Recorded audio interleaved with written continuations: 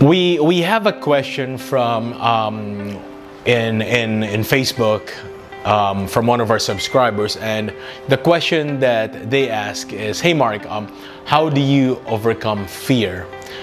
On a day-to-day basis, I mean, I have a lot of fears, not just from the personal life, but also on the business side because um, a lot of things can happen if you're having a business or you're working from 9 to 6 or 8 to 5 on a day-to-day basis.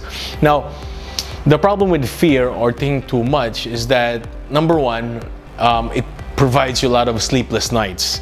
Second, um, you can't be mentally focused in terms of how you want to achieve something because you have something on your back that you want to resolve first, but um, you don't have any solutions. So my best advice is that if, let's say, you're overcoming or let's say you have a lot of fears or you know um, things you want to solve better before you go to sleep the first thing that i normally do is that i write it down i write down in my um, in my laptop or my pc I write, the, I write the things that you know um, it's bothering me if it's work or personal, then the next thing that I do is I provide one, two, three solutions to all of them.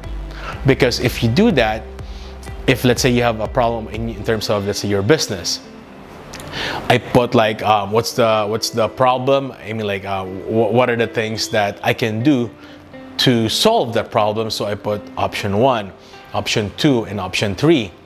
Then if I do that, at least when I go to sleep, it gives me an, a peace of mind and it eases me that knowing that the following day I'm able to execute the things that I want to execute based on the solution that I want.